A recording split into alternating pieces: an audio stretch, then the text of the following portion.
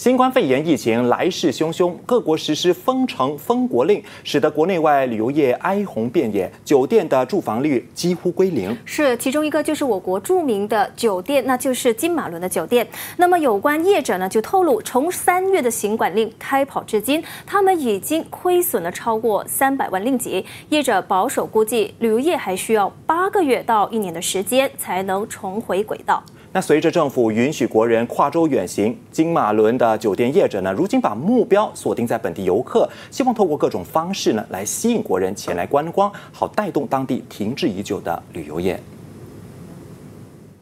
位于海拔一千五百多公尺的金马伦高原，群山环抱，空气凉爽，是我国闻名遐迩的旅游胜地。适逢二零二零大马旅游年，当地旅游业者准备大展拳脚，吸引游客来马旅游，带动国家经济。怎么知道一场突如其来的新冠肺炎疫情，却打乱了业者的全盘计划？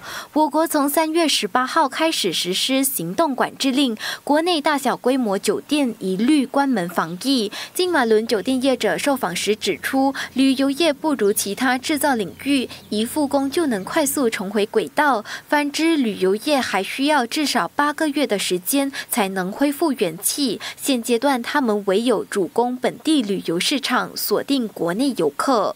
What I mentioned before, we have to focus on domestic market this year.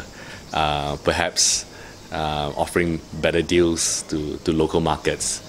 Uh, with the same sort of service, people find value in, in coming to stay in a resort rather than going to stay in uh, 另一名酒店业者透露，从三月行管期至今，他们已经亏损了三百万令吉。不过，他们并没有强制员工停薪留职，而是扛起了照顾员工福利的义务，通过外卖服务和人工智能的经营模式来增加酒店收入，保住雇员的饭碗。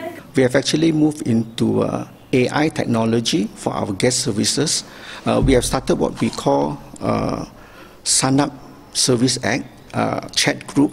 Uh, for our guests, all they need when they arrive at the hotel is just to use their handphone, scan the QR code, and then they will have access to all the information about the hotel all the information about Cameron Highlands。另一方面，金马伦旅游业者也希望旅游部伸出援手，为他们提供酒店税率和电费减免。这样一来，他们才能调低酒店的入住费用，以价廉物美的服务吸引更多旅客前来消费，让其他经济领域也能从中受惠。